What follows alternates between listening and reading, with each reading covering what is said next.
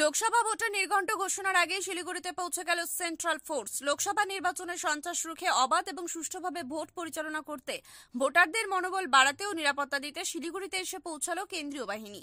শনিবার সকালে শিলিগুড়ির পলিটেকনিক কলেজের দ্বিতীয় ক্যাম্পাসে এসে পৌঁছালো এক কোম্পানির কেন্দ্রীয় বাহিনীর জওয়ান। প্রসঙ্গত লোকসভা ভোটকে কেন্দ্র করে অশান্তির ঘটনা ঘটতে পারে এমনই আশঙ্কা করা হচ্ছে।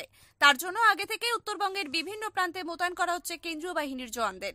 জানা গিয়েছে, আজ থেকে ওই এলাকার বিভিন্ন জায়গায় রুটমার্চ শুরু করতে পারে এই বাহিনী। উল্লেখ্য, পহেলা মার্চ বাংলায় একশো কোম্পানি কেন্দ্রীয় বাহিনী চলে এসেছে। সাতই মার্চ আসবে আরও পাঁচ কোম্পানি। এবারে লোকসভা নির্বাচনে বাংলার জন্য সবচাইতে বেশি নশো কুড়ি কোটি কোম্পানি কেন্দ্রীয় বাহিনী যে কেন্দ্রীয় স্বরাষ্ট্রমন্ত্রীকে চিঠি করেছে নির্বাচন কমিশন।